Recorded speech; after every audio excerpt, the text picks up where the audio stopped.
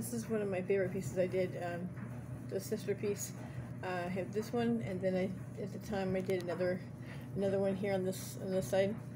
Both the focal point being this corner here, and there was another. The other piece was had the corner here, and the flames were going up from the side. My mother loved that one, and so she bought it. Um, but this one, fortunately, I got to keep. This is the this is the sister on the right because she's never left behind. That's what I call it. Pull in a little bit for you.